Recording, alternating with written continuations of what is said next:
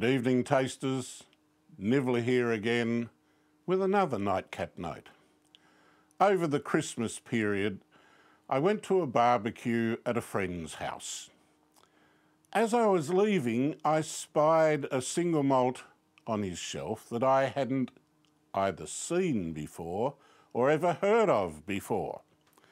It was this one, Glenmorangie Dornoch Limited Edition.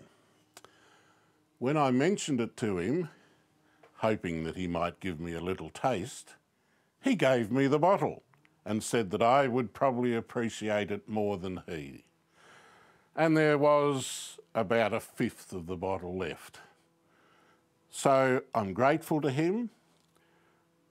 Glenmorangie make a vast range of whiskies.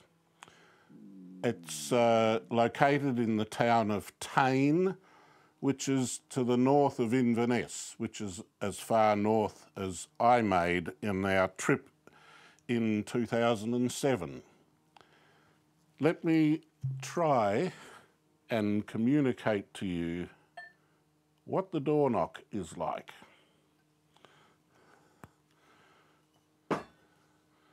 Not the knocking on the door, by the way. So the colour is really nice, bright straw colour. Ah, oh, that's a really pleasant nose. There's, there's lots of floral stuff happening in there. Vanilla, maybe some stewed fruit, and there's even, oh, it's hard to detect, but I think there's a little hint of smoke. It smells like it should be put in the mouth. Let's do that.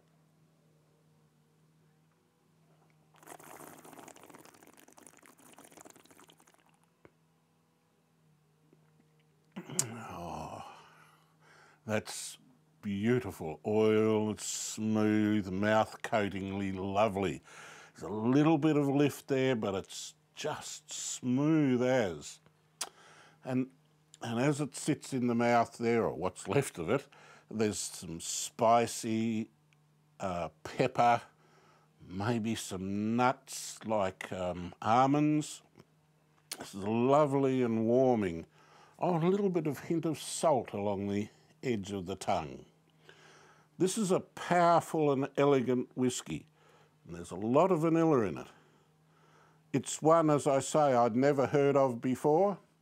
I've looked it up online and it's not easily available here in Australia. For a Christmas present, this is extremely nice and competes well with the other Glenmorangies that I have on my shelf. I have exactly four others. So thanks, Don, for the gift, and thanks, Glenmorangie, for the great whisky. Cheers.